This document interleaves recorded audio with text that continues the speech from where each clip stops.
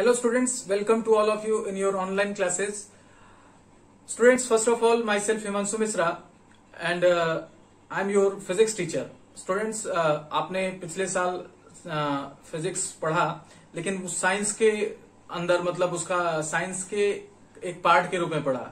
But now uh, आप as a you are selecting as a subject ठीक है? आप जैसा कि आप चाहे uh, PCB that means physics chemistry biology ले रहे हैं और पीसीएम ले रहे हैं physics chemistry mathematics then it will be as a subject ठीक है? Last year it is a part of subject in nine tenth it is a part of subject which is science science में आप क्या करते हैं? Physics chemistry and biology पढ़ते हैं तो उसका एक पार्ट था. Now it is going to be a subject it ये खुद भी, खुद ही क्या होने वाला है? अब एक सब्जेक्ट के रूप में आपके सामने आने वाला है. ठीक है बच्चों? तो ये हमेशा साइंस का पार्ट रहेगा, ऐसा नहीं है कि ये साइंस का पार्ट नहीं रहेगा but now it is going to be broader for you अब ये थोड़ा सा आपके लिए बड़ा होने वाला है एंड और चैलेंजिंग भी होने वाला है, ठीक है? जैसा कि आपने नाइन टेंथ में पढ़ा, अगर आपका बेसिक अच्छा है then you will feel better but अगर आपने नहीं पढ़ा है, और क्योंकि कोरोना के समय चल रहे थे तो कोई डरने की ज़रूरत नहीं है। I am here to assist you किसी भी प्रकार की अगर आपको समस्या आती है देन प्लीज़ आप कमेंट सेक्शन में बताएँगे and I will definitely solve your problem in next video okay तो कुछ बच्चे इस, आ, आ, क्या होंगे कि स्कूल में पहली बार एडमिशन लिए होंगे कुछ पुराने बच्चे होंगे ठीक है? तो मैं अभी न्यू टीचर हूँ तो सभी के लिए मैं नया हूँ नो प्रॉब्लम आपको मेरी बातें समझ में आएँगी। तो ठीक है तो अब आपका जो फिजिक्स होगा बेटे मैं थोड़ा सा आज उसके बारे में बताऊँगा रूपरेखा। ठीक है, उसके बाद आपको उसके पोर्शन के बारे में डिस्कस करते हुए, हमारे रिक्वायरमेंट के बारे में भी हम बताएँगे कि हम किस तरीके से अप्रोच रखेंगे तो फिजिक्स आएगा। देखिए for biology students it is challenging it is very challenging because हम लोग क्या करते हैं कि फिजिक्स जो पढ़ते हैं नाइन टेन में, उसमें आपने थोड़ा सा देखा होगा कि mathematics is included in the physics but eleven twelfth में ये थोड़ा सा और क्या होता है, प्रभावी होता है दैट मीन्स और मैथमेटिक्स इन्वॉल्व होता है। तो आपके लिए चैलेंजिंग होने वाला है if you are bio student and अगर आप मैथमेटिक्स स्टूडेंट्स हैं then don't feel that you are going to be smarter in physics but because क्योंकि फिजिक्स क्या है कि एक अलग अप्रोच रखता है तो आप दोनों के लिए चैलेंजिंग होने वाला है। और मैं आपके इसका चैलेंज में आपके साथ हूँ। अगर आपको कोई प्रॉब्लम आएगी तो मैं आपको डेफिनेटली पर्सनली असिस्ट करूँगा। किसी भी चीज़ में आपको समस्या होगी तो आप पूछेंगे। और जब मैं पढ़ाऊँगा तो आपको किसी भी तरीके की समस्या नहीं आएगी बट एज ए स्टूडेंट्स के क्वेरी आते हैं तो उस क्वेरी को आप बिल्कुल हंड्रेड परसेंट खुले दिल से क्या कर सकते हैं, पूछ सकते हैं। लेकिन बच्चे you have to be regular you have to see the videos regular है ना रेगुलरली और उसके बाद आपको प्रॉपर नोट्स बनाने हैं, और उसमें भी कोई प्रॉब्लम आती है तो आपको पूछना होगा and whatever I will will inform you आपको उसको क्या करना होगा फॉलो करना होगा, और फिजिक्स इंटरेस्टिंग हो जाएगी। और वास्तव में फिजिक्स बहुत इंटरेस्टिंग है। ये तो मैंने उसकी सच्चाई बताई है, मैं डराना नहीं चाहता। लेकिन अब फिजिक्स के बारे में आप चलते हैं तो समझते हैं तो फिजिक्स कितनी इंटरेस्टिंग है। आप समझ सकते हैं कि आपके चारों तरफ़ whatever is going around you can be explain in the physics मतलब फिजिक्स जो भी आपके चारों तरफ़ दिख रहा है उसको फिजिक्स के थ्रू समझा सक, जा सकता है। है ना? जैसे we are connecting with the videos and online classes how how do how can it be possible ये कैसे पॉसिबल हो सकता है? It gives by the physics मतलब ये जो आपको देखने मिल रहा है ये फिजिक्स के क्या है? एप्लीकेशन uh, है। हाँ there are some computer science and other physics also other science is also involve but physics is like a base physics क्या है? बेस है। है ना? मोबाइल और ये सब कैसे फिजिक्स के थ्रू बनते हैं? फिर इसमें कंप्यूटर साइंस के थ्रू प्रोग्रामिंग करके इनको बनाया जाता है। इलेक्ट्रिक बल्ब आपका जल रहा है आपके घर में। जैसे यहाँ पे मेरे पास रोशनी है। ये भी क्या है? आपके पास फिजिक्स की देन है। ठीक है। मैं बोल रहा हूँ इट ट्रेवल्स टू यू ये कैसे हो रहा है? ये भी फिजिक्स से समझा जा सकता है। एंड ऑल दोज थिंग्स जो भी आप पूछना चाहो, आप पूछ सकते हो कि sir can be explain this phenomena by physics आप मेरे से पूछो I will definitely tell it in next video आपको मैं नेक्स्ट वीडियो में इसको बताऊँगा, ठीक है? तो फिजिक्स कैन बी एवरीवेयर आपकी फिजिक्स क्या हो सकती है? चारों तरफ़ हो सकती है। Starting from electron electron is the smallest particle of the universe आप उस इलेक्ट्रॉन से शुरू करें and goes through the universe आप यूनिवर्स तक जाएँ। मतलब एक छोटे से पार्टिकल से लेके एक बड़े से पूरे यूनिवर्स तक आपकी बात करें then each and every point physics exist ठीक है? तो ये तो बात समझ में आई। क्या फिजिक्स एग्जिस्ट करता है कि क्या एग्जिस्ट करता है? तो उसकी बात हम लोग अब समझते हैं। तो सबसे पहले हम लोग जानते हैं कि व्हाट इज़ द फिजिक्स तो पहला हमारा जो पहला यूनिट भी है लेकिन ठीक है, चलो अच्छा पहला यूनिट ही कर लेते हैं। पहले हम लोग बात कर लेते हैं फ़र्स्ट यूनिट के बारे में। तो फ़र्स्ट यूनिट है हमारा फ़िज़िकल वर्ल्ड इसी में सारी बातें मैं आपको बता दूँगा। This is the first chapter of NCERT book and also your syllabus physical world ठीक है? तो इसी में हम लोग फिजिक्स की बात करते हैं। तो आप हेडिंग करिए व्हाट इज़ द फिजिक्स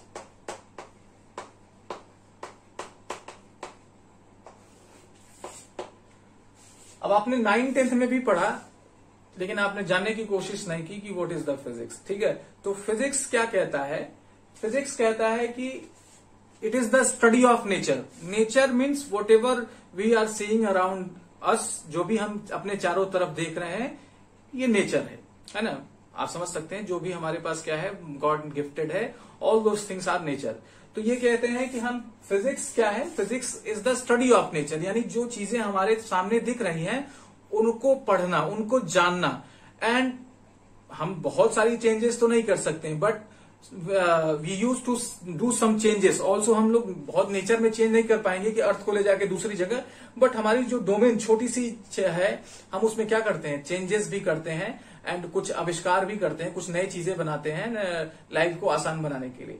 तो फिजिक्स क्या है? Physics is the study of nature okay and uh, अगर डीप में बात किया जाए जैसे आपसे कोई पूछा कि व्हाट इज़ द फिजिक्स तो आप एक लाइन का आंसर करें it is the study of nature but if physics teacher is asking या आपको लगता है कि द पर्सन इज़ नॉलेजेबल तो आप उसको और अच्छे से जवाब दीजिए। Then then he will appreciate कि हाँ भाई आपने अच्छा जवाब दिया। But study of nature is sufficient is enough but but है ना, हमें क्या करना होता है? अच्छा और अच्छा बनाना होता है। ओके तो फिजिक्स क्या देखता है कि नेचर में बेटे दो चीज़ें एग्जिस्ट करती हैं। आप बोलोगे, सर दो ही चीज़? कैसे, सर? देखते हैं। नेचर में अकॉर्डिंग टू फिजिक्स दो ही चीज़ की एग्जिस्टेंस होती है। First one is mass and other one is energy nature में सिर्फ़ दो चीज़ें आती है बेटे। पहला आपका मास है, दूसरा क्या है? एनर्जी ठीक है? यानी all universe is are is made up of mass and energy आप कहोगे, सर, कैसे? देखिए, हम क्या है? हम कुछ मास से बने हुए हैं और एनर्जी हमारे यहाँ, हमारे अंदर ट्रेवल कर रही है, जिसके थ्रू हम ज़िंदा है। अगर वो एनर्जी रिलीज़ हो जाए तो हम क्या हो जाएँगे? सिर्फ़ और सिर्फ़ मास के रूप में दिखाई देंगे। तो ये पर्सनल हम बात हो गई। हमारे चारों तरफ़ एयर है। एयर क्या हो रही है? एयर भाई एयर की कुछ क्या होगी? मास होगी। तो मास है उसकी, और वो कुछ क्या है एनर्जी के साथ क्या कर रही है? मूव कर रही है तो एनर्जी ली हुई है। इसी तरीके से हमारे पेड़, पौधे, या कुछ भी बोलो, वो मास और एनर्जी के क्या है? कॉम्बिनेशन से बने हुए। आइदर मास और energy are both exist in the same system as मैंने जैसे आपके एग्ज़ाम्पल को बताया कि मेरा जो बॉडी है, वो दो, या आपका बॉडी वो मास और एनर्जी से मिलकर बना हुआ है। तो आपको समझ में आया तो आपने क्या समझा कि physics is the study of nature अगर और डीप में बताया जाए तो आप बोलेंगे कि physics is the study of mass and energy available in nature अब पहला आदमी कोई पूछा आपसे लेमैन तो आप कहेंगे physics is the study of nature but अगर कोई अच्छा आदमी पूछता है तो क्या बोलेंगे physics is the study of mass and energy available in nature और क्या पढ़ते हैं? और हम पढ़ते हैं transformation between them that means बेटे मास एनर्जी में कन्वर्ट होता है और एनर्जी मास में कन्वर्ट होता है. As you have maybe remembered या लिसन अबाउट इट कि E is equal to delta M C square Einstein energy equation आपको याद होना चाहिए ना? Is equal to delta M C square तो बड़ा फ़ेमस रिलेशन था, जिससे उन्होंने बताया कि mass can can be converted into the energy and as well energy can be converted in mass. ये किसने बताया था? अल्बर्ट आइंस्टीन की फ़ेमस थियरी रिलेटिविटी में उन्होंने ये प्रूव किया था is equal to delta M C square you can also feel it मतलब अगर आपको नहीं फॉर्मूला पता है तो भी आप इसे फील कर सकते हैं। हाउ आप बेटे क्या करते हैं? आप खाना खाते हैं then what you take you take food as a mass है ना? But your digestive system converted this mass into the energy जिसे एनर्जी के रूप में आप क्या करते हैं, इस्तेमाल करते हैं। तो first example you see that you have seen that mass is converted in the energy this is very simple example as you know okay now the reversible process that means energy can be converted in converted mass how कैसे होगा? तो आप देखते हैं कि if you are eating eating and eating मतलब आप काम खाते जा रहे हो, करते and you not do not performing any work तो क्या होता है? वही एनर्जी क्या होती है? आपके बॉडी में फैट्स के रूप में। तो फैट्स क्या होता है? आपका मास बढ़ता है ना? आपका वेट बढ़ता है ना? तो वो फैट्स के रूप में क्या होते हैं? कन्वर्ट होने लगते हैं। That energy start converting in the form of mass तो आपका बॉडी ही आपको ये बहुत सारा जवाब दे रहा है कि how mass is converted to energy and energy is converted to the mass और फिर हम जब क्या होता है, बहुत मोटे हो जाते हैं तो हम उसे क्या करते हैं? वर्क करके क्या करते हैं? उस एनर्जी को रिलीज़ करते हैं टू या उस मास को क्या करते हैं? जो फैट्स होता है, उसको हम लोग क्या करते हैं? एनर्जी के फॉर्म में कन्वर्ट करते हैं। भाई मास वेट ज़्यादा हो गया तो उसको हम दौड़ भाग करके क्या करते हैं? मास को एनर्जी में कन्वर्ट करते हैं ना तो वो एनर्जी क्या होती है? दौड़ने में इस्तेमाल हो जाती है। वही एनर्जी हमारे है ना हीट एनर्जी के जो हमारी दौड़ने पर गर्मी पैदा होती है शरीर में, उसके रूप में इस्तेमाल हो जाती है। तो वही मास क्या होता है एनर्जी में कन्वर्ट हो जाता है और फिर हमसे क्या, फिर हम लोग क्या हो जाते हैं, पतले हो जाते हैं। तो इन दिस वे आपने ये समझने की कोशिश की, ये समझ में आया कि mass can be converted to the energy and energy can be converted into the mass है ना? किस तरीके से ये बात समझ में आया?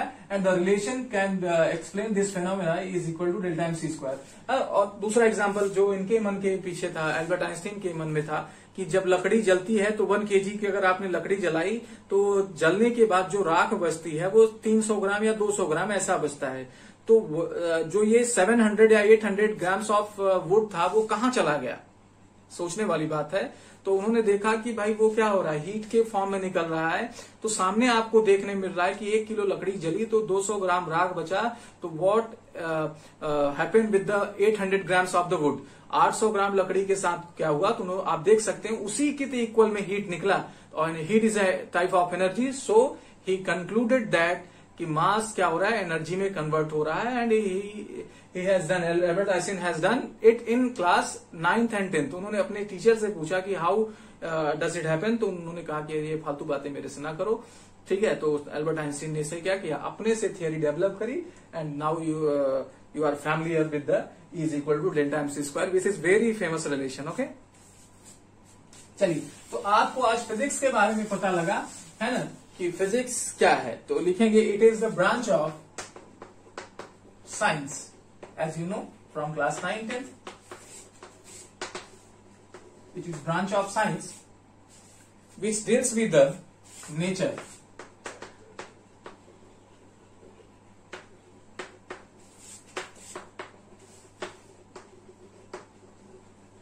okay? Which deals with the nature bracket में mass and energy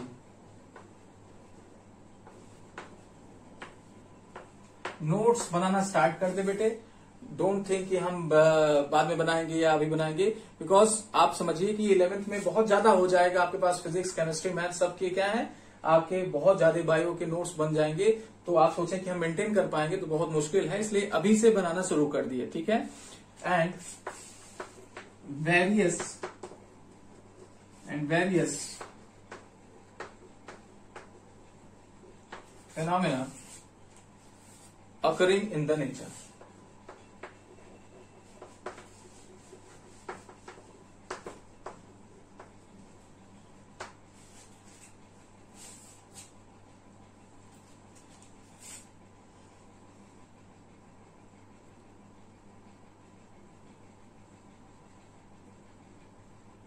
Okay, note it on your uh,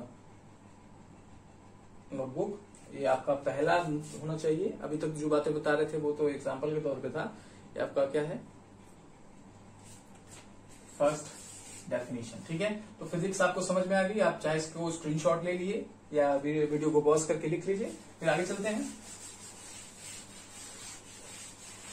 अब बेटे, जैसे जैसे फिजिक्स बना, फिर इसके नए ब्रांचेस आने लगे। यानी फिजिक्स में भी क्या हो गया? जैसे साइंस के तीन ब्रांचेस वैसे ही फिजिक्स के भी क्या आने लगे? ब्रांचेस आने लगे। तो आप लिखिए वेरियस टाइप ऑफ़ ब्रांचेस या branches of physics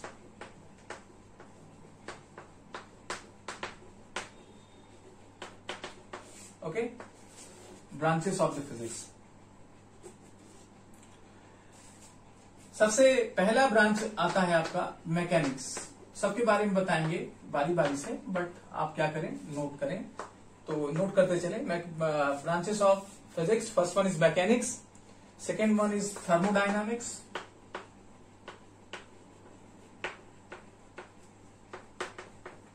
and third one, waves and oscillation. Oscillation इसे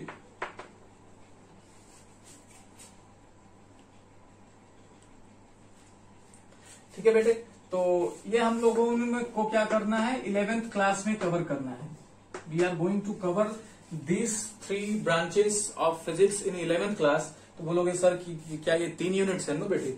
मैकेनिक्स में बहुत सारे छह सात यूनिट है थर्मोडाइनमिक्स में तीन यूनिट है, और waves and oscillation itself contains two unit तो आपका ये कुल मिला के तेरह चौदह यूनिट बन जाएगा, ठीक है? It is the branches that means है ना, जैसे आप साइंस पढ़ते हैं तो साइंस में फिजिक्स है तो उसमें पाँच यूनिट थे क्लास टेंथ में। बायो में तो चार यूनिट ऐसे होते थे ना तो वैसे ही मैकेनिक्स में चार, पाँच मतलब सात, आठ यूनिट आते हैं। इसी तरीके से दो तीन यूनिट इसमें और ये दो तीन इसमें आते हैं, ठीक है? तो it is going to be covered in eleventh class mechanics thermodynamics and waves and oscillation बेटे एंड इन ब्रांचेस में सबसे ओल्डेस्ट ब्रांच हमारा जो है, वो है मैकेनिक्स है, ठीक है? तो बात कर लेते हैं, फिर हम ट्वेल्थ पोर्शन में क्या कवर करेंगे, उसकी बात करेंगे। मैकेनिक्स बेटे क्या होता है कि जैसे हम मूव कर रहे हैं कार चल रही है, बारिश हो रही है फ़ैन चल रहा है तो ये जो क्या है speed velocity momentum force work energy ये सब किस ब्रांच के अंदर आता है? मैकेनिक्स के अंदर आता है, ठीक है? थर्मोडाइनेमिक्स जहाँ पे हम हीट की बात करते हैं, है ना? हीट की बात करते हैं हीट को वर्क में कैसे कन्वर्ट करना जा, करना किया जाएगा तो वो किसमें आता है? थर्मोडाइनेमिक्स में आता है। फिर आता है वेव्स एंड ऑसिलेशन बेटे, आप जानते हैं कि हम लोग जब बोलते हैं तो दूसरे के कानों में आवाज़ किसके थ्रू जाती है? वेव्स के फॉर्म में जाती है। अगर हम चले जाएँ मून पे तो बात नहीं कर पाते, ऐसा सुना है। तो क्यों ऐसा होता है? इसके बारे में जानेंगे वेव्स में। ऑसिलेशन क्या होता है? ऑसिलेशन आपका, जैसे आपने क्या किया, एक पत्थर से एक रस्सी को इस तरीके से बाँध के अब ऐसे झूला झूला दिया। तो ये मोशन जो है, इसको ऑसिलेशन बोलते हैं। तो हम इसके बारे में जानेंगे। वेव्स एंड ऑसिलेशन में और डीप स्टडी करेंगे जब वहाँ पे पहुँचेंगे। तो यहाँ पे बस मैं आपको थोड़ी थोड़ी बातें बता रहा हूँ। Which is uh, going to be covered in the uh, 12th class are listed as follows. Class twelfth में बेटे हम लोग पढ़ेंगे चौथे नंबर पे ब्रांच जो आएगा uh, उसको बोलते हैं इलेक्ट्रोमैग्नेटिज्म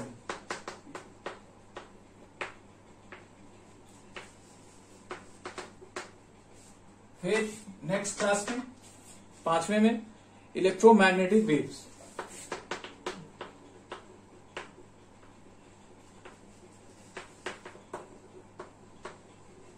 ठीक है? Six branch optics seventh branch modern physics eleventh में ब्रांचेस थोड़े जाते हैं। है ना? और last one electronics electronics and communication communication okay तो ये ट्वेल्थ क्लास में हम लोग कवर करेंगे। आप देख सकते हैं इसमें थोड़ा सा पोर्शन ज़्यादा है, उसमें तीन ही पोर्शन है बट इलेवेंथ का जो पोर्शन है वो टफ है ट्वेल्थ का पोर्शन थोड़ा सा इजियर है। तो इलेक्ट्रोमैग्नेटिज्म आप जानते हैं क्या होता है? जहाँ पे जैसे आपने पढ़ा कि चार्ज के बारे में। चार्ज है, आपके बारे में आपने क्लास टेंथ में पढ़ा। चार्ज क्या होता है? चार्ज की क्या प्रॉपर्टीज़ होती है? तो यहाँ पे चार्ज और उससे रिलेटेड जो फिनोमिना जो भी प्रॉपर्टीज़ बिहेवियर है, उसको हम लोग किसमें पढ़ेंगे? इलेक्ट्रोमैग्नेटिक इलेक्ट्रोमैग्नेटिज्म में, ठीक है? जैसे आपने पढ़ा कि इलेक्ट्रिक करंट का मैग्नेटिक बिहेवियर होता है, इसलिए इसको इलेक्ट्रो मतलब चार्ज होता है। तो चार्ज का बिहेवियर साथ साथ उसकी मैग्नेटिज्म पढ़ेंगे। दैट मीन्स जो मैग्नेटिक फ़ील्ड वो प्रोड्यूस करता है। ये सब डिटेल में पढ़ेंगे, जब वहाँ पे पहुँचेंगे। यहाँ पे सिर्फ़ मैं आपको इंट्रोडक्टरी बात बता रहा हूँ हाँ ऐसा होता है। बस आप जानते रहिए। इलेक्ट्रोमैग्नेटिक वेव इलेक्ट्रोमैग्नेटिक वेव क्या होता है बेटे? एक फ़ोन दूसरे फ़ोन से कैसे कनेक्टेड है?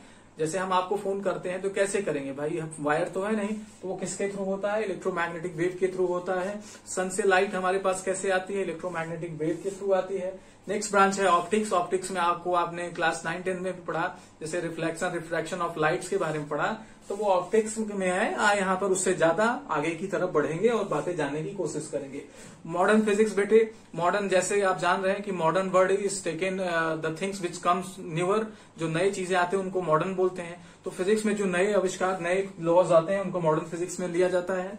फिर electro electronics and communication electronics जैसे आपका मोबाइल आज देख रहे हैं कि छोटा होता जा रहा है है ना, चीज़ें क्या होती रही पहले टीवी एक पूरे कमरे का था, आज फिर एक छोटा हो गया, फिर आज दीवार में लटका दिए। तो ये क्यों हो रहा है? क्योंकि इसमें नए कंपोनेंट्स लग रहे हैं, और वो कंपोनेंट्स के बारे में हम लोग इलेक्ट्रॉनिक्स में पढ़ते हैं। एंड कम्युनिकेशन दैट मीन्स कि किस तरीके से कम्युनिकेशन हो सकता है कि हम, है ना, टीवी में टीवी में किस तरीके से हमारे पास सिग्नल्स आते हैं हमारे पास किस तरीके से एंटेना होता है, इन सब की बात हम लोग कम्युनिकेशन में करेंगे। ठीक है बेटे? तो ये आपकी ट्वेल्थ क्लास का रहा और हमने ब्रांचेस के बारे में जाना। आज की क्लास बस इंट्रोडक्टरी क्लास थी और चैप्टर वन की शुरुआत हो गई है, ऐसा नहीं है। चैप्टर वन में व्हाट इज़ द फिजिक्स हमने जाना। और बेटे हम लोग को किसी भी काम को जानने, करने से पहले उस काम की जानकारी होनी चाहिए। अगर हमें क्या, कह दिया जाए कि समुद्र में तैरना है तो पहले आपको तालाब में या मेरा मतलब स्विमिंग पूल में जाके तैरना आना चाहिए। नहीं नहीं नहीं मैं सीधा तालाब, सीधा समुद्र में और बीच में तैरूँगा। ऐसा थोड़ी होता है। ऐसा नहीं होता ना? तो इसलिए पहले उनके बारे में थोड़ी सी जानकारी लेनी चाहिए। तो आज की क्लास में इतना ही। उम्मीद करता हूँ मेरी बातें आपको समझ में आई। तो समझ में आई तो नीचे दिए गए आपके जो मैसेज का है, उसमें आप सर बताइए अपना experience how do you feel और ऐसे ही इंटरेस्टिंग क्लास होने वाली है, ये मेरा आपसे प्रॉमिस है, ठीक है? तो आप एक कॉपी बना लीजिए। और लिखना शुरू कर दीजिए। आज तो बहुत ही कम लिखा है बट नाउ अब धीरे धीरे हम लोग स्पीड पकड़ेंगे और आप अच्छा फील करेंगे। ठीक है बच्चों? तो आज के लिए इतना ही। Thank you very much